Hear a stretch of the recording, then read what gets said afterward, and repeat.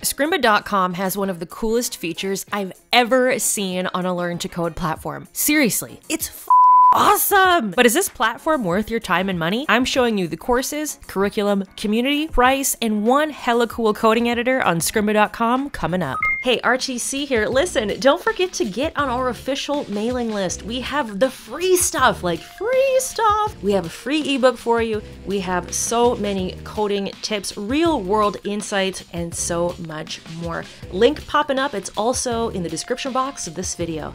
Scrimba, scrimba, scrimba! How in the ever loving heck has the world not caught on to this way of doing video tutorials? I've known about it for a few years now, and every time I come revisit it, I'm like, whoa, whoa, Dude, here's how it works. These are video tutorials, right? The instructor shows you how to code a variable, how to do a little JavaScript, Python, bada boom, whatever. Anytime during the video, you can pause it. And when you hit the pause button, you can enter into the video and you can start editing the code. You can run the code. And when you're done messing around in the editor, you just hit the play button again and the code is reset to the point where you paused and the lecture continues. It's brilliant. Also, somebody please tell me why every video based Learn to Code platform isn't doing this or trying to do this. As a bonus, every time you pause the video and go into the editor, a note is automatically created. And if you save it, a little bookmark shows up in the progress bar. And now, anytime you're in the video, you can click this little yellow dot and see what you've coded. So, this code editor is non destructive if you want it to be. If you don't need that note anymore or you accidentally created one or whatever, you can just toss it and in the trash it goes. Okay, so that's the big draw to this platform, right?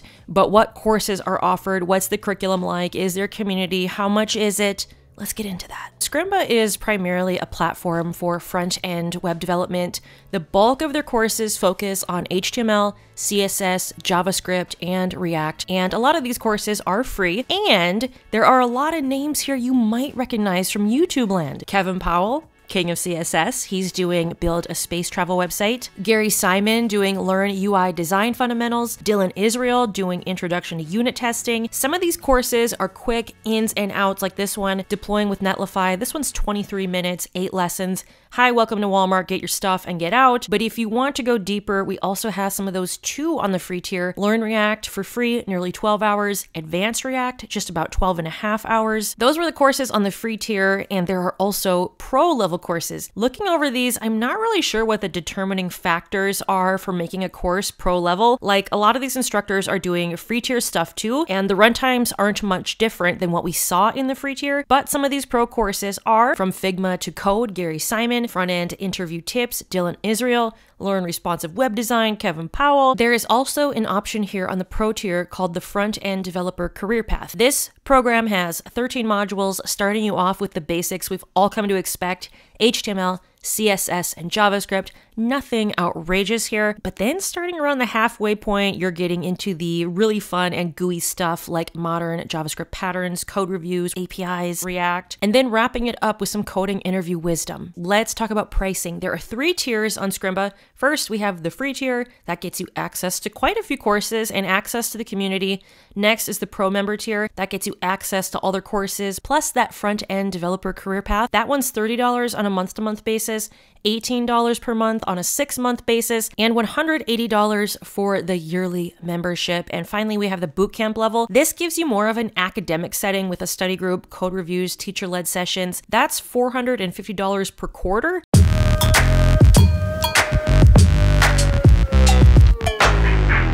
Community. Scrimba has a Discord community, and this is where you're going to be going to connect for just about any community aspect. If you need advice, code help. This is also where they do the code reviews, it looks like. It wasn't crazy busy when I joined, but it was definitely active, and this guy welcomed me right away. It was nice not getting lost in the shuffle, which seems to happen sometimes in many of these bigger tech discords. I'm gonna be honest here. I think the front end developer career path is a really good start in preparing code newbies for a dev career, but I think you're gonna need a little extra. The reason I say that is primarily because of the projects. Most of the projects I'm seeing here are either basic, so more like coding challenges, and or they're clones of popular applications. An Airbnb clone, a meme generator clone. Clones can be super cool, but as I've said many times before, Your main job as a developer is to be a problem solver. You will be getting paid to solve a company's problems. This Netflix problem, this Airbnb problem, these have already been solved years ago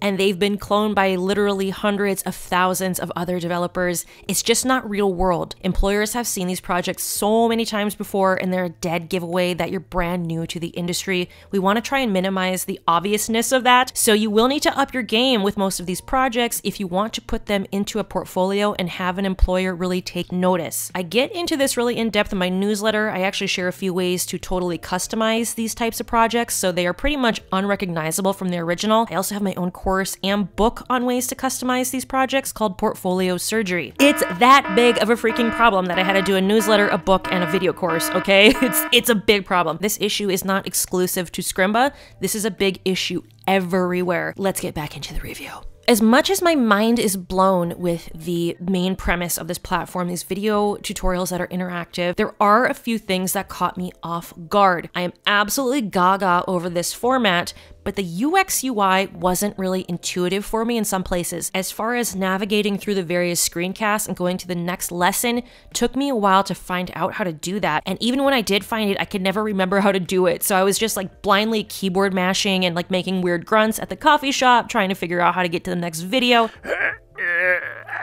It was very unflattering. It would be cool just to see a regular old fast forward button or next video button down here, or really just anything making it easier to navigate the curriculum. The other thing that kind of caught me off guard was the potluck assortment of instructors and courses. Some of the instructors are very organized, they're well articulated, good mics, good production values, and others I thought did need some improvement. Same goes with the topics. I just thought it was kind of inconsistent in places. Some of these topics I thought were very well put together together, especially for a free tier level course. Others seem kind of rushed and disjointed. Also, even though a few of these said for beginners, I felt like the entry point was more for an advanced developer, but focusing on one of the courses I really liked, Learn Python for Free. I thought Learn Python for Free was a real banger. The parts I did go through, the instructor isn't rushing through the material, and he dropped some programming gems into the lectures. He's like, and I'm paraphrasing here, we're to try and solve this problem now, but keep in mind, just because I showed you one solution doesn't mean it's the only solution. That's the beauty of programming. There are often multiple solutions to one problem. Now, this is really nothing mind blowing, but he does take the time to illustrate the bigger picture in places instead of just showing you how to declare a variable. This instructor tends to minimize the code monkey stuff and focus more on actual programming and problem solving, which I really appreciated. Final verdict all in all, developers, stop it. I love the format. Stop it. It's so freaking engaging engaging, it's fun, it encourages experimentation without having to worry about crashing a server or whatever. It's a very low risk experimental environment, which I think is so important for newbies. You don't have to set up any developer environment at all, it's all right here on your screen, so it's really accessible too. I honestly recommend every aspiring developer check this platform out. It's that cool. And there are a lot of free courses if you don't want to splurge on the premium stuff. But what do you developers think of this platform? Am I just too obsessed with this interactive video feature and blowing it out of proportion? Proportion, or is it as epic as I think it is?